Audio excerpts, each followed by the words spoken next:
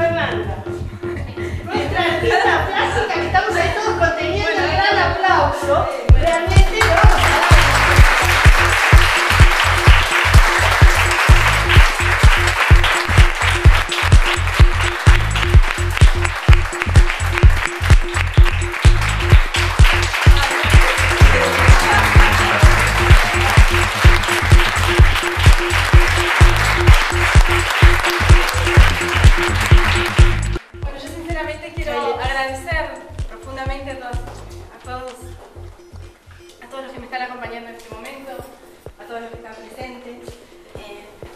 iniciar esta muestra yo me gustaría retomar una, una de mis frases que dice que el arte es el bello camino que elige el alma para mostrarnos su pureza. Y bueno, yo creo que en este camino eh, he encontrado, descubrí o me ha encontrado a mí tal vez esta tendencia de la abstracción geométrica. Eh, para introducirnos un poquito en este tema, eh, quiero contarles que trabajo con problemáticas intrínsecas al hacer artístico, a la abstracción y a la misma como lenguaje o como forma de expresión. Eh, en este camino se ven y se replantean cuestiones formales, estructurales, materiales, problemáticas de color, de profundidad, de movimiento.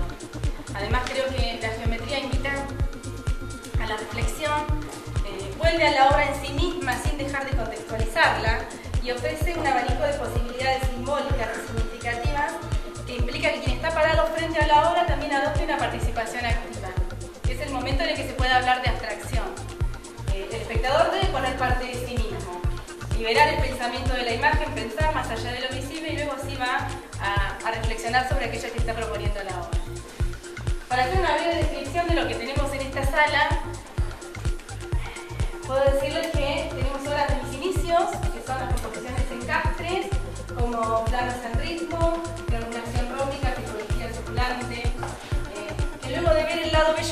su valor como esencia, base de todo cuerpo y objeto, las figuras geométricas son combinadas de diferentes maneras y utilizadas en construcciones que determinan la composición. Esta composición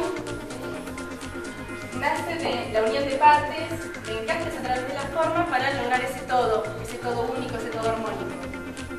En lo que se refiere al color, esas la mayoría de las composiciones se trata de un color claro, puro, limpio, no, claro en lo que traía, sino en lo que se refiere a la limpieza, la nitidez, eh, que tiene cada figura fondo y espacio. Los colores que se, complementan, a su vez contrastan entre sí y determinan que cada figura adquiera validez propia, determina la fuerza de las imágenes y la atracción entre ellas. También tenemos obras que nos proponen un cierto juego mental, como espacio mágico, eh, levitación cúbica, traslaciones, que en este caso se trata de una serie de pinturas que explora el concepto de espacio con un diseño bidimensional. Eh, hay planos que ya sea por su forma, por su color o por su ubicación, irrumpen en el esquema y en el orden habitual, por lo que se adelantan, avanzan, retroceden o van mutando de acuerdo al campo en el que se reubican. Eh, los pesos visuales se distribuyen de manera dinámica dentro de la superficie, por lo que visualizar la obra a cierto tiempo llega a producir en el interior de nuestra conciencia relaciones, comparaciones, notaciones, translaciones que nosotros son las que nos vamos recreando.